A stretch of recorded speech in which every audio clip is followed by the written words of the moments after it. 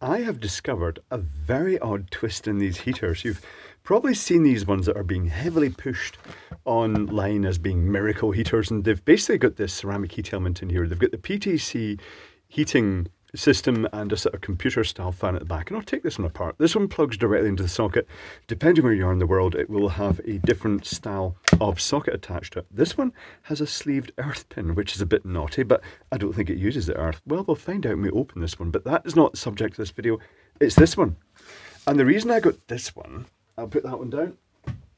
The reason I got this one is because the picture showed this void where the heater was. And I thought, is this some fancy ceramic heating thing? Is this a different system? And it turns out it's very primitive indeed. And the flames, this is just a basically a computer graphic. It's a someone has uh, designed it, and then this is the physical implementation. And it's quite interesting. It is quite interesting. It's quite noisy as well. So I've taken the screws out of this because they are horrible little uh, anti-tamper uh, triangular screws that were recessed deeply into it. I had to dig through for bits to, to find it. Now, let me just power this up and I'll show you it running. So here's the Hoppy. And if I switch it on to full power, because it's got a, a switch at the back, it gives low and high settings. Full power. I'll try and uh, keep this away from the microphone here.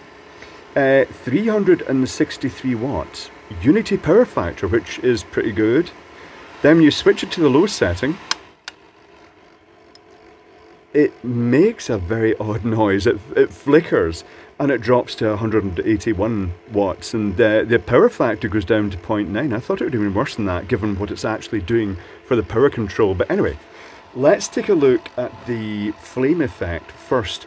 Uh, so I'll just pause momentarily and set it up so we can see this. One moment, please. Right, I think I've sussed this, so I'm going to turn it on. I'm going to turn the light off. Uh, hold on, I'm going to focus down onto here first. Uh, turn this on, turn the light off. Uh, and this is the effect we're getting. It's a reasonable enough effect. I'm surprised it covers. Having seen the inside, I'm surprised it covers the whole thing. And you may notice it tends to go up in surges. Hopefully this isn't just blowing air at the microphone. When you turn it down to the lower setting, oh, super flickery and very dim. Right, tell you what, that's enough of that. Back to the main video. The light is coming back.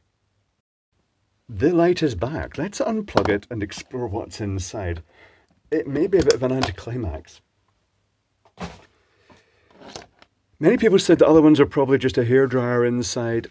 This one is effectively a hairdryer inside.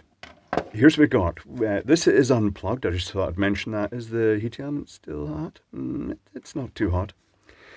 In the back of this, down there, let me shine a light down there. We'll zoom down a bit as well so you can actually see it. Down there is a little thermal fuse, that's a little white box, and here is a thermal cutout. This is good. If you look at the uh, windings down there, you can see a yellow wire and a red wire. The red wire is live, the yellow wire is a tap coming off part of the windings down there. Um, other than that, there's a little uh, motor at the back, which is uh, being powered from a bridge rectifier here. And what's actually happening is it's taking a tap, as many hair dryers do, it's taking a tap off the heater, just using it as a resistive divider. It's going to a little bridge rectifier down here. Then it's going up to the circuit board that marshals the power out to the effect motor. Now, the effect, normally this concertinaed reflective mylar, what they normally do, they put a dot of glue at each end and they actually rotate it around like this so that it's a, of spiral. But in this instance, they've kind of, they've just basically just smooshed it on and put a drop of hot melt glue at the end there. It's not ideal. Uh, the power from this powers three LEDs down here that reflect off the mylar and it also goes to the motor that is running the fan. For speed control and power control, it's a diode a diode right up against that plastic. Not That's not just the hot thing next to plastic here. But it's a standard 1 amp diode, and uh, depending which way you switch the switch, it'll either go straight, it'll power this directly, or it'll power it via the diode. The other thing, I thought this was a metal grill in the front. No, this is plastic. It's a plastic outlet grill. How's that going to fare with a 400 watt heater blowing at it? That's a bit freaky. But anyway, Let's get on to the schematic. That's a bit we want to see. Anything else worth mentioning here? Not really. Salvageable bits, quite like this. Quite like the little Mylar effect thing. It's very nice with uh, blue or green LEDs. It gives it a sort of sci-fi plasma effect.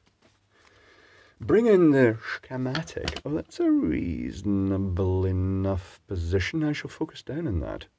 And we shall explore the schematic. It's a bit swamped out, but that's fine.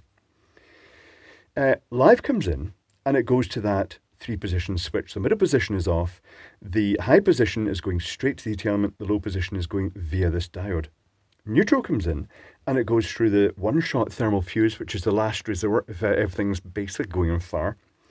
And then it goes through the thermal cutout, which is designed to handle temporary blockages or airflow issues, and then it will reset afterwards. And then it powers this heating element. Now, I've drawn the heating element old-fashioned resistor style because it just seems appropriate, being sort of rheostatic, which is what it is. There's a tap taken off that, and it goes to a bridge rectifier. So it's getting a much lower voltage than going across the full thing. I should have tested that. I shall test that. Um, I shall test that right now. One moment, please.